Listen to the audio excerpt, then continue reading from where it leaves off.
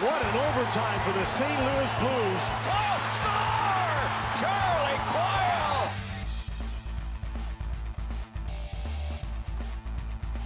One penalty killer will get a chance to change.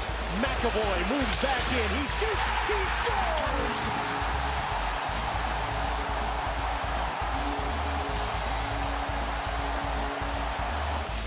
Kuraly up the boards. Chara pinched and it paid off. He put the puck on net. It's loose. Acciari tried a backhand pass. Kuraly shoots. He scores!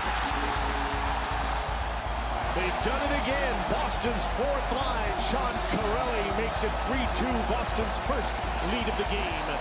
Jaden Schwartz with Tarasenko shoots. Rebound. What a great save by Chara. Then they score.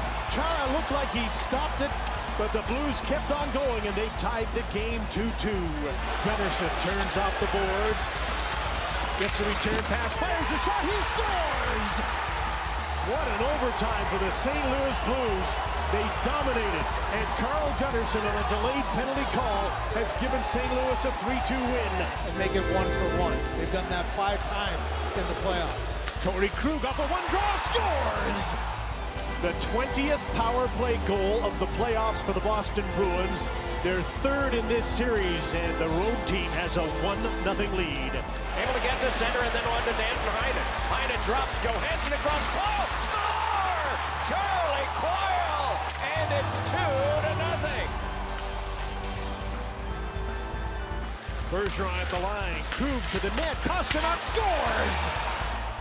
Another quick power play goal, and the Boston Bruins have extended their lead in game three to 4 0. Played on by Steen again. Then it's Zach Sanford. Shouldered there by Chara. Rolled off. With it.